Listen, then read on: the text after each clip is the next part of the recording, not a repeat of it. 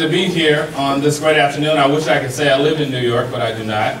So I came all the way from Washington, D.C. for no other reason than to come see each and every one of your smiling faces.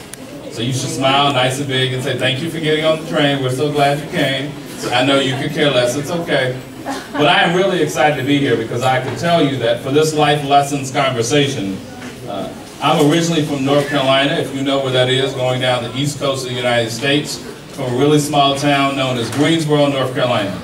Now, I will open my story by telling you the following, that I've got two older brothers that I call Dumb and Dumber, er, just like the movie that's out. And I call them that because they're eight and nine years older than me, and they always did all of these negative things that you should not do to a younger sibling. So from trying to put me in a trash can, to put me in the dishwasher, to the washing machine, to locking me outside, everything in between.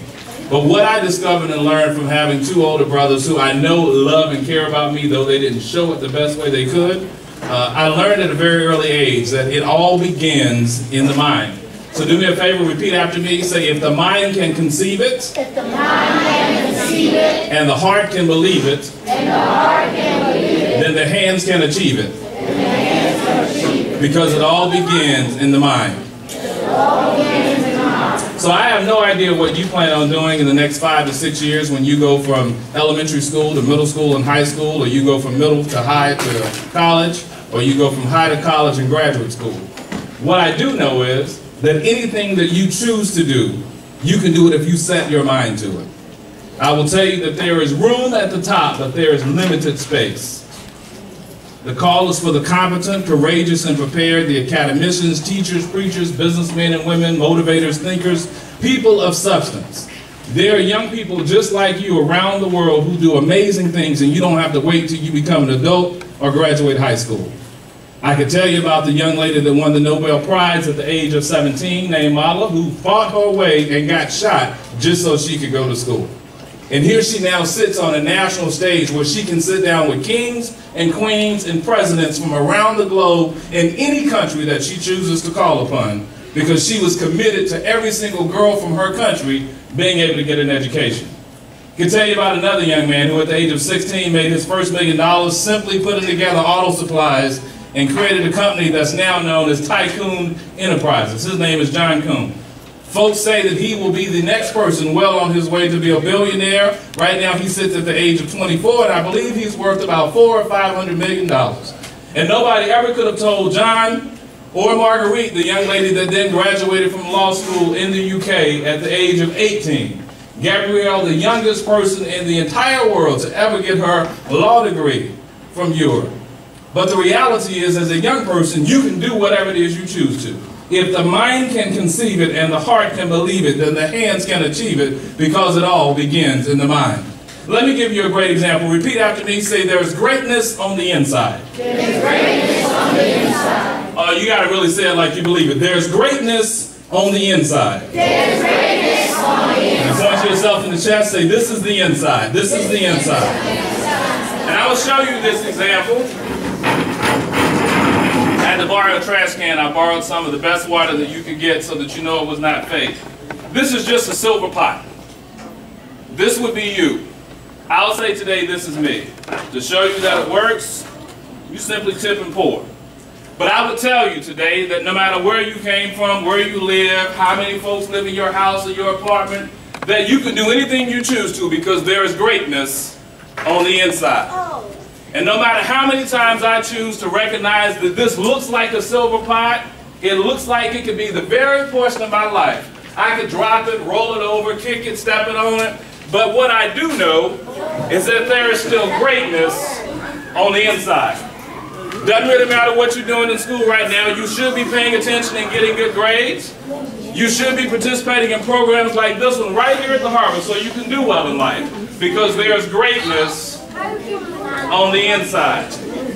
Repeat after me. Say, if the mind can conceive it, If mind can conceive it, and the heart can believe it, then the hands can achieve it.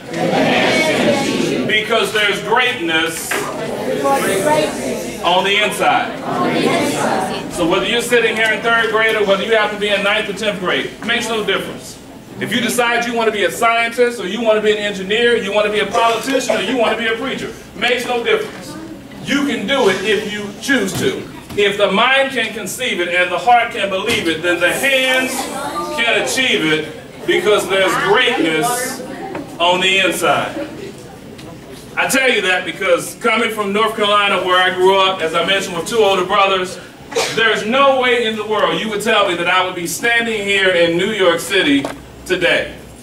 I was a kid that talked all the time. I never wanted to pay attention. They said I had ADD and ADHD, that I needed a whole combination of medication just so I could sit in class and pay attention.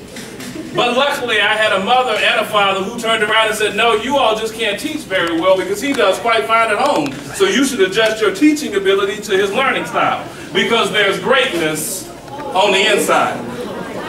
I'll tell you that because I've now traveled to 48 of these United States, six of our territories, and at last count, 15 different countries around the world. The same student whose seventh grade English teacher, Miss Alice Deaton, looked me dead in the face on my very first day of school and said, excuse me, you're coming into the wrong class. It was my very first day, and I looked at Mrs. Deaton. I'm shocked because, you know, it's the first day of school. You don't want nobody to front on you. So I had to stop and say, I'm so sorry, Mrs. Deaton. My schedule says this is exactly where I'm supposed to be. I'm supposed to be in your honors English class. She didn't even look at my name. She didn't look at the schedule. She said, you need to stop where you are standing. You're in the wrong classroom. I don't need to look at your schedule to confirm or deny whether that is true or not. I know for a fact you're in the wrong place at the wrong time. In front of an entire class, it's the first day of school. What are you supposed to do? I did what my parents would have taught me to do, which is I said, Mrs. Deaton, I'm so sorry. Perhaps I have read my schedule in error and I'm in the wrong location, but the bell has already rung. Since the office is just down the hall and I'm a brand new student, could you possibly go and find out where it is I'm supposed to be? Mrs. Deaton looked at me, pulled her glasses to the edge of her nose. She huffed and puffed, and then you heard her walking down the hall. And every single student in the class looked and said, we don't know you, but today you're going to die. Nobody says that to Mrs. Deaton. I can't believe you even open your mouth. You're just supposed to stand there and be quiet. But I knew in my mind that I was in the right place at the right time. About seven minutes later, Miss Deaton came back down the hall, along with another person, that was my principal, Mr. Robinson. They both walked into the classroom that I was then standing in, smiling to greet our new principal. How are you, sir? Apparently I'm in the wrong. He said, Mr. Garrett, I don't need you to say a single word. Mrs. Deaton, do you have something you would like to tell Mr. Garrett and the entire class? Well, Mr. Garrett, welcome to your new honors English class. And I stopped, and I was still smiling, because of course I'm thinking, yeah, I'm going to be good for at least a couple weeks. Everybody, I can talk bad about Mrs. Deaton. Everybody's going to know who I am. This is awesome. Didn't say a single word. There are many things you can think, but it should never leave your lips. So I just stood there. He said, Mrs. Deaton, I don't believe that is sufficient because the class does not understand what has just occurred in this moment. And Mrs. Deaton then stepped out and said, class, I want to introduce you to your new classmate, Mr. Garrett. He has the second highest score on the English exam for the state, and we're excited to have him in our honors English class. I tell you that today because you need to recognize, realize, and understand that it does not matter where you start, but where you finish that counts. So the book I'll tell you about in a couple minutes, the very first time I wrote a copy, I signed it. I said for every single student that shouldn't, couldn't, wouldn't, and won't, let me be one representative of all those who do, can do, and will continue to do so. Yours truly, Byron V. Garrett. I even spent the extra money instead of putting it in the mail. I put it in a FedEx envelope, made sure it was signature required, and I sent it to Mrs. Deaton so she would actually have to sign to get the book. Because I wanted her to know that for every single student that she thought didn't have the capacity or potential, just like me, she was sadly mistaken because there's greatness on the inside. You're going to get that in a minute. Let me give you another example. Because I travel all the time, I meet some amazing folks, you get to meet corporate executives like Steve and Dr. Howard. You get to meet entertainers and athletes and politicians. But I will tell you the best people that I like to meet out of the entire world are students just like you. Because right now, you actually have the capacity and skill set to do anything you set your mind to. Your origin, meaning where you start right now, has nothing to do with what your destination looks like. You can go anywhere that you want to. If you say, I want to go to Paris by the time I get 18, then go overseas and get on an international study program. If you decide you want to be a corporate executive and have a nice corner office on the 52nd floor of some tower sitting over in the middle of Manhattan, you can do that if you choose to. If you decide I want to move to Washington, D.C. and be the next president of the United States when I turn of age, it is highly possible. If you choose to, you can do it. Because there's greatness on the inside. Now I can bore you with the water example, but more importantly, I will tell you that no matter what your age is right now, there are a few things that you've got to do to make sure you move from this station in life to the next. Can anybody tell me what some of those things are that you've got to do every single year if you want to continue to do better and better and better? Yes, ma'am. Um, take the state test. Say it one more time. Take the State test. take the state test and do well on it, right? You got to pass it. Yes. Show grit and perseverance. Show grit and perseverance. Great word. Yes. Show courage. Show courage. How about over here?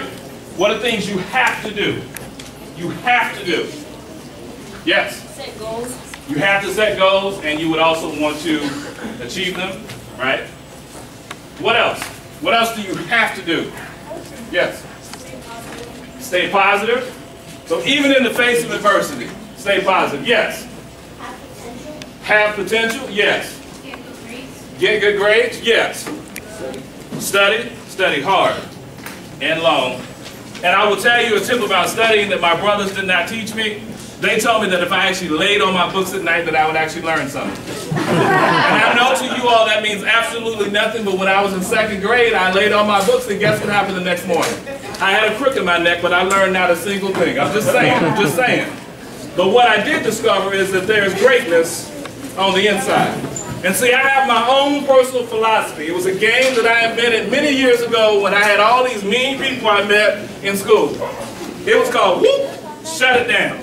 So everybody that had something negative to say about me, I would look at them dead in the face and say, Whoop, shut it down. You don't like the shoes I have on today unless you've got money to buy me a brand new pair, your opinion really does not matter. Whoop, shut it down. You don't like the outfit I have on today unless you're going to take me shopping at Target or Saks, your opinion really does not matter. Whoop, shut it down. And if by chance you don't like my haircut today because the fade has now grown in, unless you're a barber and can touch it up, your opinion really does not matter. Whoop, shut it down. Because there's greatness on the inside.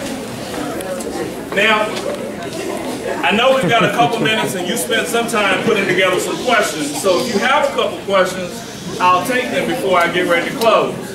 But I want to make sure you understand two simple principles. One, there's greatness on the inside.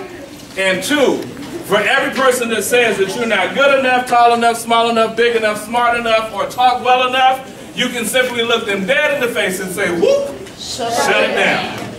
Yes, sir. All right, get up and state your name. My name's Matthew. What were your dreams when you were a kid? So Matthew, when I was a kid, my dream was to own a business and have people that I could tell what to do and make a whole bunch of money. Those were my dreams at the time. Good question. Yes, ma'am. Up, up. Stand Stand up, up. say your name. Yeah. Why did you become an author of Eleonora, is that right? So her question was, why did I become an author for Scholastic? So the book that I wrote, The ABCs of Life, that I'll close with in a second, I was doing a conference, they heard me speak, they liked the ABCs and posed the question and said, we would like to publish your book. Are you interested in having a publisher? And we will distribute your book around the world. And of course I said, you can get it much further than I can, because if I do it, I'm just traveling by myself. But if you do it, you have people all around the world in different countries and locations that can help market and promote my book. So I then signed what's called a publishing agreement and became a published author with Scholastic. Good question. Any hands over here? Up. Stand up. Grace. Yes. Stand up, Grace.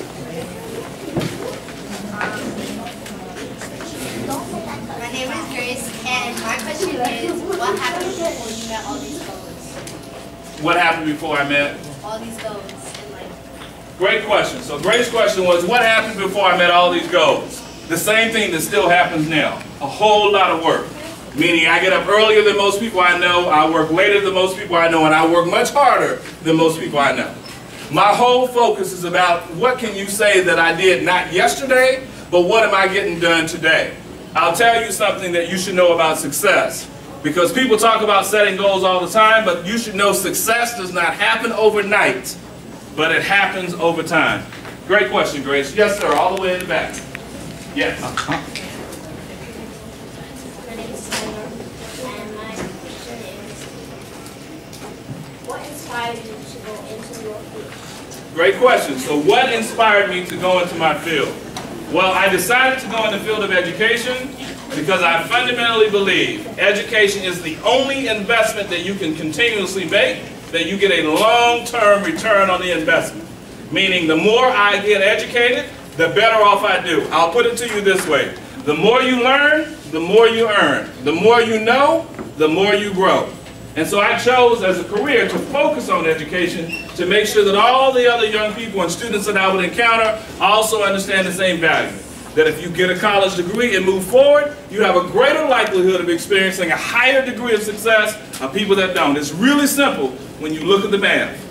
The more you learn, the more you earn. The more you know, the more you grow. Yes, ma'am. My name is Taina. And what high school? What high school? Great question. So, her question was, what high school did I go to? I actually went to five high schools in four years across three different states. So when people tell me they're on the five-year and six-year plan, I have no excuses for them. Excuses satisfy those who make them. I'll say it and I'll slow it down and remix it for you. Excuses satisfy those who make them. I graduated from Seneca High School, which is located in South Carolina. If you've ever heard of Clemson University, it's the high school that's basically next door to Death Valley Stadium. So you probably haven't been to South Carolina as of yet, but you should go. And when you do, you should go visit my high school because I've got a nice little name plaque in the hallway. Even though I only went there for nine months, which is all it takes. Yes. My name is Rondell. My question is, what is your book ABCs of Life about? Can we hold that question to the very end and you'll hear everything about the ABCs that you want to know? You already know the alphabet, right? You know A to Z? So you know half the book. I'll give you the other half in about six minutes. Is that a deal? Awesome. Yes. My name is Ashanti, and um, I said, how how do you focus on all your community goals? Community goals. Great question. So Ashanti's question was, how do I focus on all of my community roles? It is not easy. Work is work. I'll give you a great example. So this week, today is Monday, right? Is that correct? Today is Monday? Yes. So today, I got up early, took the train from DC, came up to New York City so I could spend time with you all this afternoon, meet the great folks here at the harbor, get a great tour of this wonderful facility. This evening, in about a couple hours, I'll take the train back to DC. I'll do some work tonight, catch up on email on the train because it has Wi-Fi. Tomorrow morning, I'll get up and do a whole series of conference calls that start at 9 a.m. all the way to about 6 p.m. That's Tuesday. I want you to follow me. Wednesday, the President of the United States, you know, President Obama, is having an education conference at the White House where he's convening 100 different superintendents and education leaders from around the country. So I will spend all day Wednesday at what is known as 1600 Pennsylvania Avenue. Then Thursday, there's a gentleman by the name of Jeb Bush. He's a former governor of a state that you may know as Florida. He's the he is the brother of two previous presidents, well, the brother of one and son of another. President Bush and President Bush. You've heard of them before, I'm going to guess. So he's having an educational conference also in D.C. His conference starts on Thursday and goes to Friday. But before I get to Friday, Thursday evening, if you've ever heard of the United Kingdom, some folks also refer to them as the British. Well, the British ambassador to the United States is doing a reception Thursday evening at his residence in Washington, D.C. So Thursday evening, I'll go from Governor Bush's conference, wrap up at 6 o'clock, go to the ambassador's reception. It goes from 6 to 9, and then I should make it home about 10.30 to get up the next morning to do it all over again at another conference. That would then be Friday. Is that correct? Y'all follow me? So that's Monday, Tuesday, Wednesday, Thursday, Friday. So when you say I don't have time to do homework, I have no idea what that means. Life is about work. The more you put into it, the more you get out of it. That's a very long answer to your very short question. And the short answer would be you continue to do work, you plot, plan, and strategize. You wake up with a mindset to say, I'm going to get it done, whatever it takes to make it happen. Because the future doesn't start tomorrow, it's already started today. Yes, ma'am, all the way in the back. My name, is Deja. Do you have any children? Ah, great question. Do I have any children? So I don't have any biological children. I have two nephews who are now grown, thank goodness. They moved in when they were in elementary school. That kind of changed my whole perspective about wanting to have kids. If you have, which you would not understand this, the adults would. You have two boys that move in across the country. They come from down south. I was living in Arizona at the time. And they move in and decide that now you've got to understand how to do this algebra and this other homework stuff that I haven't done in years. My whole life completely changed. So if I were to have children, it would be the two of them. Their names are Brandon and Dwayne. One lives overseas in Spain, and the other one goes to college at Hampton University in Virginia. So those would be my two boys. Great question. Yes, ma'am. Um, Stand up. Say your name. my name is Daviana. Um, do you enjoy being the chairman of NFEA and how, what encouraged you to wake up every day and do this? Awesome question. Do I enjoy being the chairman of NFEA, which is the National Family Engagement Alliance, and what encourages me to wake up every single day to do it? I have a simple philosophy I learned years ago. I want to leave the world better than I found it. And the only surefire way to improve the educational system is when educators and families work in partnership to make sure that you get a good education. So we spend most of our time focused on how do we connect the dots so that families get along with the school system so that you can have a good education environment that you can then graduate and do amazing things. Any questions from this side? Y'all just quiet this side. Yes, ma'am. Stand up. You know they want you to stand up, introduce yourself. Adonai, um, would you do anything different? Would I do anything different? Great question. And the answer is easy. No, I would not. Because as soon as I go back to the past to change, modify, alter, or correct anything, that means everything in the present and the future could change based upon any decision that I decided to change or modify. So I would not do anything different. Doesn't mean I'm thrilled with every single thing I did, but it means I wouldn't change anything because I don't want to risk altering the outcome. Does that make sense? Everybody do me a favor. Stand up where you are. Stand up where you are. Make sure you have nothing in your hand, nothing in your hand. Want you to be hands-free. Put your hands to your side. Everybody ready? It's a really easy question. I'm going to have you do two different things. The first thing I want you to do is try to lift your right hand. Try to lift your right hand. Okay? Now, try to lift your left hand. Now try, if you don't have them both up, try to lift them both up at the same time. Look at the person next to you and say, we did it. We did it. So if you've ever seen a movie by the name or title of Star Wars, there's this great little green character by the name of Yoda. Yoda says in life, as he does in the movie, there is no try. There is only do or do not. You see how you lifted one hand, then you lifted the other, and then someone created to keep both in the air? You had no difficulty doing that, did you? No. Success and goals happen the same way. Now do me another favor, put both hands down, but stay standing. I'm looking at everyone. I believe in this audience. I could be mistaken. I believe everyone has two able feet. I believe that is the case. If that is the case, I want you to do me a favor since you have two. Right? You have two legs, two feet attached to them in most cases. Want you to do me a favor. I would like for you to take one foot and put it in the past. One foot, put it behind you. Do not move your body other than your one foot, put it behind you. Just one, not both, just one. Now do me a huge favor. You have one foot in the present and you have one foot in the past. Is that correct? Everybody should look somewhat like I do. Just not quite as flat. I get it. Hold on. Before you say it, remember there are some things you can think, but it should never leave your lips. Right? So you got one foot in the past, one foot in the present. Without moving either of them, I want you to try to step into the future. Without moving either foot, because you only have two. I want you to try to step into the future. It is physically impossible unless you happen to be a character from Marvel Comics. You can't do it. What I would now like you to do is take your foot that you have behind you, and I want you to step forward into your future.